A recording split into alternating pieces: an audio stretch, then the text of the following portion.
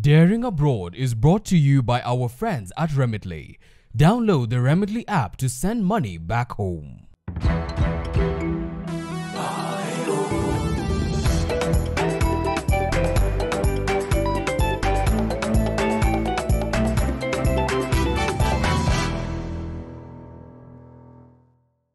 Hello and welcome. It is good to have you with us. Today's show is jam packed with inspiration. From Kentucky, we will tell you how an artist and a graduate of the University of Nairobi is carving his way into America's art scene. Nimeajiri wazungu, nimewaajiri kabisa. So far wamenipitia kama tatu.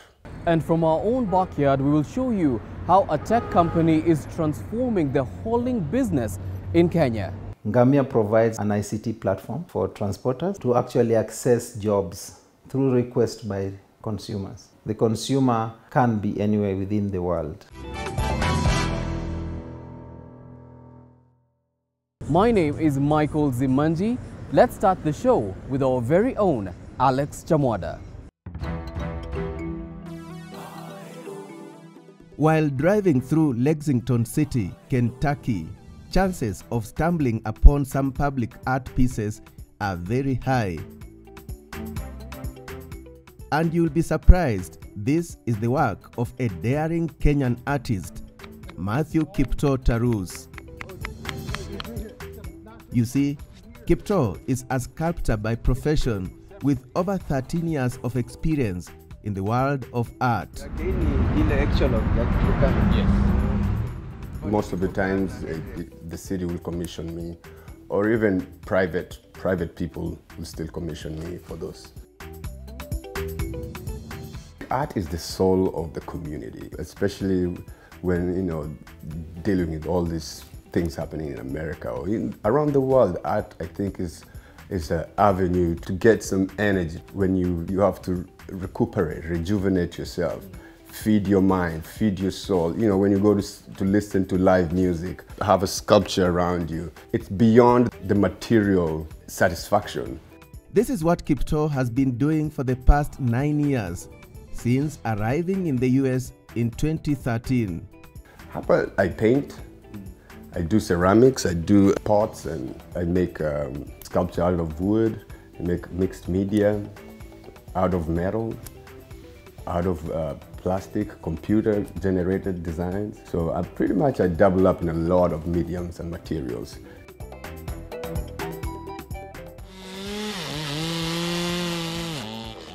Kiptoo's preferred working material is wood. Sometimes when you look at a piece, it really evokes maybe some anger in you. Sometimes you look at a piece, it shows so much joy to you. So all these emotions, it might either be good or bad. What you see is what you get. It doesn't need to be beautiful. Yeah, some some artists are known for just making ugly art, but you know they still evoke, and that's that's what you know uh, the, the human mind is attracted to.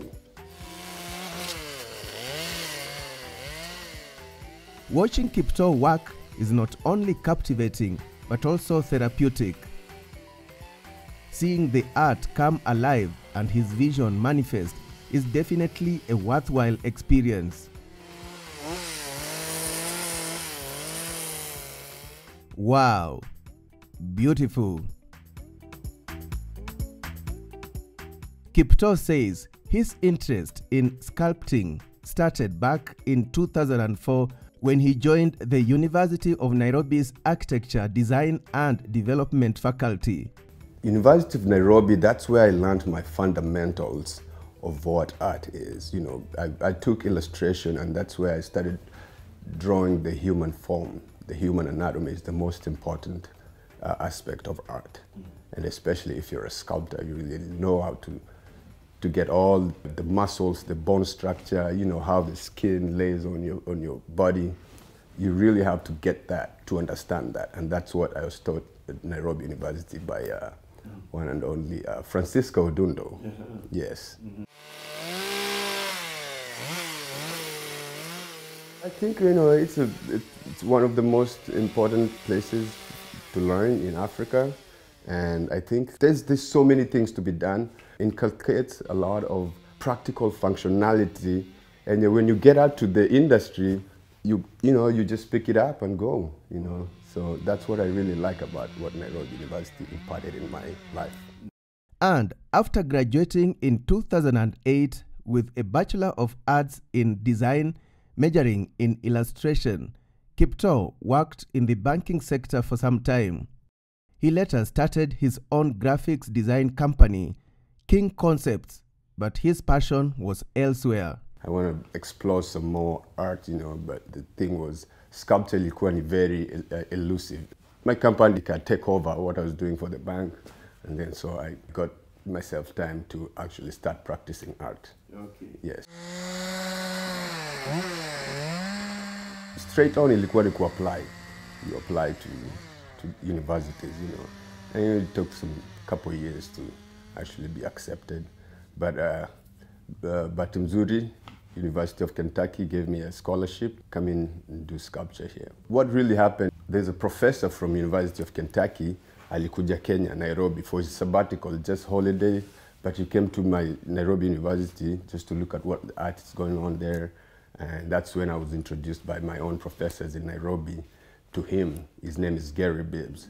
And so Gary Bibbs told me about uh, maneno masters. So hapo ndo nikajua where to apply and you know, he gave me, you know, the directions of how to maneuver it. Yeah, it's not really easy, but unajua, especially if it's in the art world, it's a very small world. And uh, you really have to prove to qualify, you know. You need to compete. Yes, No it's very favorites. competitive. Mm. It's very competitive. Mm.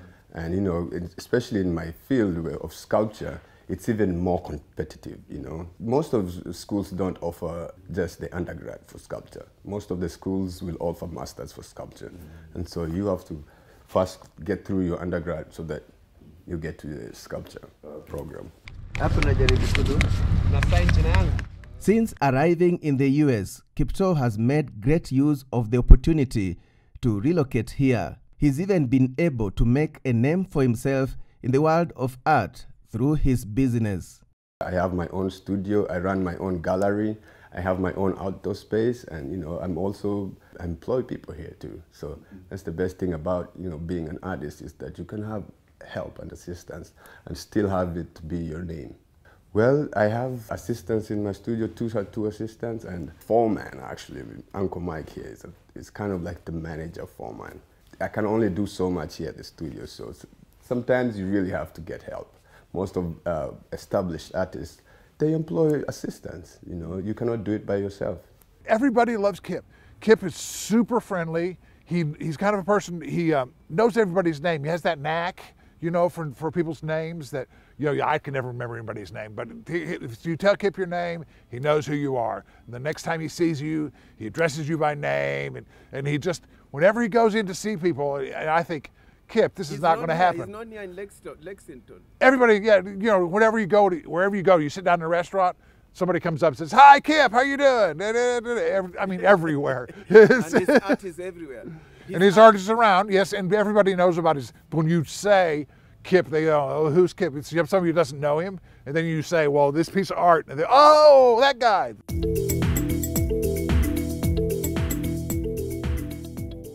Another motivating factor for Kiptoo is the fact that he is not alone. Kenyan artists are making it big here in a land of opportunity. Yes, there's a lot of Kenyans actually. I mean, from the top contemporary artists that are, you know, making like Wangechi Mutu, she's dominated New York and bigger cities, and she's now in Kenya, has a studio in Kenya. There's um, my friend in Oregon, Washira, who is also doing a lot of um, mixed media and paintings and music. I can count different states that you know Kenyans are around and, and making it happen. This is quite positive for Kiptoo, who draws most of his inspiration from Kenyan artists. There's a lot of uh, really great artists in, in Kenya who have been inspired. First off, his name is uh, Billy Kaigwa Kag- Kagunju, ak- ako pale Kuona Trust. And then kuna Kota Otieno, kuna Gomba Otieno. Especially in the Kuona Trust family and uh, also in uh, the Go Down Art Center. For Kiptoo, coming to America was a good decision. I'm paying all my bills, even send money home. The best thing is that I really like what I'm doing. So within that constraint, money gets to be very, very small of an issue. To me, I'm doing what I like. Kenye roho yangu inapenda na naifanya. So that's really, I think it's a blessing to be able to be doing this and getting paid.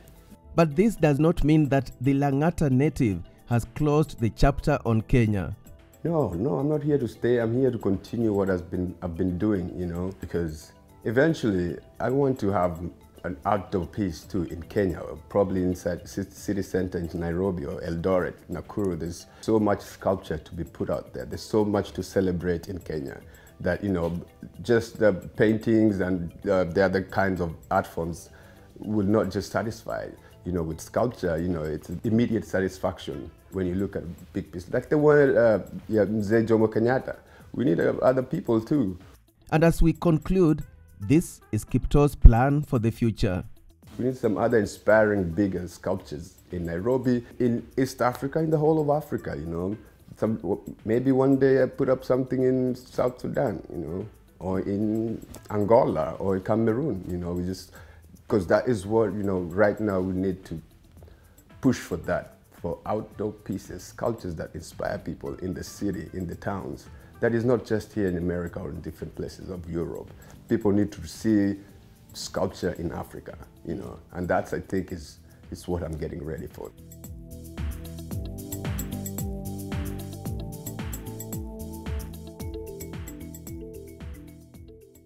What a creative way of capturing the essence of Africa through art. Thank you, Alex, for that story. Time now for a break, but when we return, Ngamia provides an ICT platform for transporters to actually access jobs through request by consumers. The consumer can be anywhere within the world. how Ngamia Africa is transforming the hauling industry in Kenya through innovation and technology.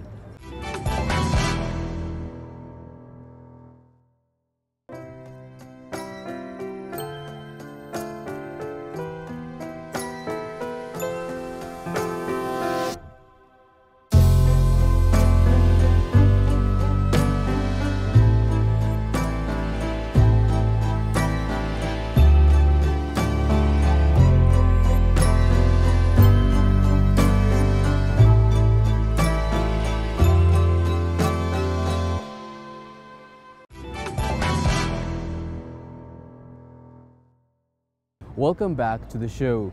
Now, times are changing in the business world, and for you to be able to survive, you need innovative ways that are based on technology. And today, on our Back Home segment, Alex Chamwada tells us about one such company. Their name, Ngamia Africa. It is a typical morning for Jeff Muraguri, who is currently on his way to Westlands in Nairobi County. The reason? To deliver pergolas, a kind of wooden tents to a client who is preparing for a wedding. His journey takes him approximately one hour, and upon arrival, Jeff springs into action. It's an Indian wedding. Their weddings uh, go in various stages. They normally last about two or three days. So we're setting up today for them. Uh, we're doing one pergola. Then on Friday, we do another, the main pergolas, about five of them. For the main event will be on Saturday. I've been a transporter for about 20 years. I do events in uh, maybe even even up to Mombasa, Nakuru, all over the country. Wherever the, the client wants me to go, I go there. About three kilometers from Jeff's location, we find Justus Shikanda, a logistics expert and director, Wheels Movers. Justus is in the process of assigning routes for his three truck drivers. we transport uh, maybe the farm products or the household or the, the building material. We do long distance transportation within Kenya and East Africa. Also do moving in the location.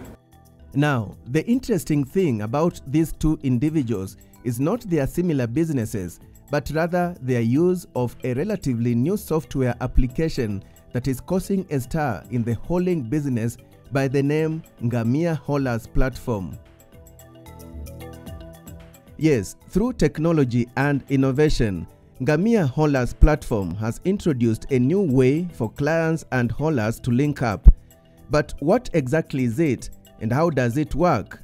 Jonathan Dede is the managing director at Ngamia. Ngamia provides an ICT platform for transporters and consumers. What we do, we give a platform for transporters to actually access jobs of transportation within our platform through request by consumers. And these consumers can be consumers who are moving farm produce, they could be consumers who are moving houses from one place to the other. They also can be consumers who are in construction and hardware business. We realized that uh, in the country, Kenya specifically, most of businesses were looking at e-hailing, the business of taxi, which actually were running on uh, e-platforms. And there was no business that uh, was just taking care of uh, transportation of items. So we have uh, businesses in the transportation sector, but they own assets and at the same time they are trying to give you technology to do business. So we looked at it and realized that if we could just give platform so that the majority of transporters who actually do business do not have to engage with us as a business, but they could actually just use our platform to get business. The major challenges we have in this field is cutthroat competition in this field. When you're doing general transport, if let's say most of most of the transport we do is building materials, the influx of so many trucks into the business means the prices fluctuate downwards. They spiral, they spiral downwards. What I prefer to do is get more business at a lower price to break even. To break even. In most of these cases, there are brokers in between, and brokers will come in and undercut you. You may talk to the cli client. A broker will come in, offer a rate much lower than you are, than you, than you gave, and of course, the client, everybody wants to save uh, the, as much as they can. So you, lose, you end up losing the business. It's been uh, a challenge for most of the people, for pretty much the consumers and also transporters. So uh, we developed an application which is running both on mo mobile application, Android and iOS. So it was out of a need to serve that Ngamia Haulers platform was born in 2019. Now that we know the what and why, let's find out more about the how. We have two types of transporters. We have those transporters who are like uh, they run companies, so we call them organized. Then we have those transporters who have uh, one truck or two trucks, so they are independent transporters. I've been using the app for the last maybe seven, eight months. And what I, what I appreciate about the app, once you log into the app, so the clients are there, and uh, you make your bid. And once you make your bid, the client will get back to you, and once you strike a deal, you go to the premises. Apart from convenience and affordability, the platform also provides users with security. Maggie Murundo is a financial expert and a frequent user of the app. I came to hear about Ngamia haulers through a friend uh, by word of mouth. I was looking for a transporter to move my furnitures. I saw Ngamia as a convenient uh, mod to use. I was quite busy at my workplace and I didn't have time to go looking for, uh, for transporters. So uh, I looked up on the app that they have, the Ngamia app. I downloaded through the uh, Play Store, uh, registered, then I put up the request. It was really fast. I got bids from various uh, transporters. I went with the one that I was comfortable with, and within a short time, I was able to move my, my, my furnitures. Before even uh, the transporter is paid, uh, there's a system the way uh, Ngamia will get the money and uh, they will hold the money in, in, in their system until the, the customer is satisfied with the job that has been done by the transporter, that's when they release the money. So yeah, in terms of even uh, security and being uh, scammed or anything of that sort, that is taken care of by Ngamia. Another security feature about Ngamia is the tracking system. So I was able to track the transporter until the destination. And once uh, they arrived, I was able also to confirm that my furniture were in good condition, as well as uh, confirming that the transporter had arrived, so that we were able to also to notify Ngamia to, to just finish the payment. So uh, using Ngamia has been convenient, affordable, and very efficient. Another plus about the platform is added publicity and visibility to users. At the same time, uh, most of our transporters whom actually are doing business with us, we make it easier for them to do some little bit of advertisement on, uh, on our product called Maki.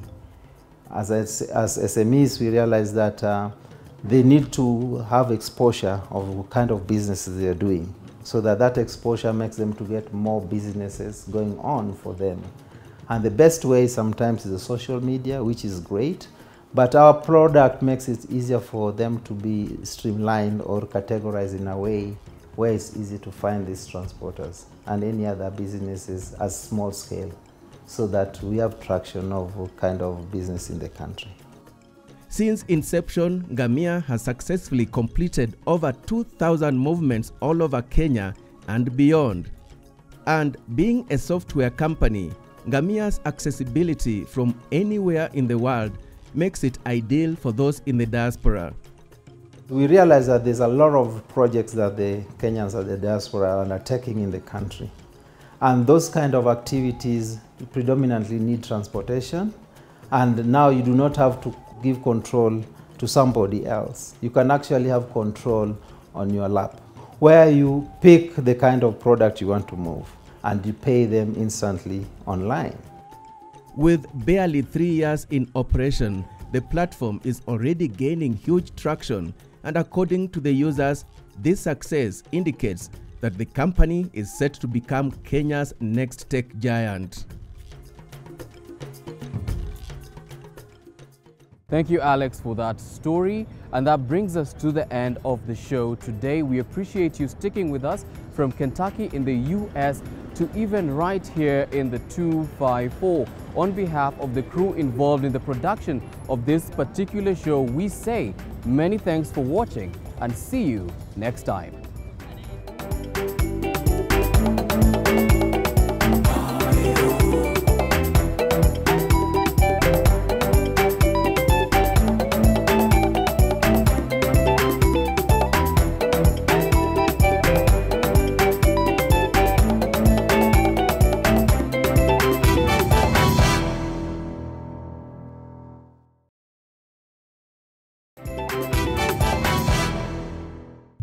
Abroad is brought to you by our friends at Remitly. Download the Remitly app to send money back home.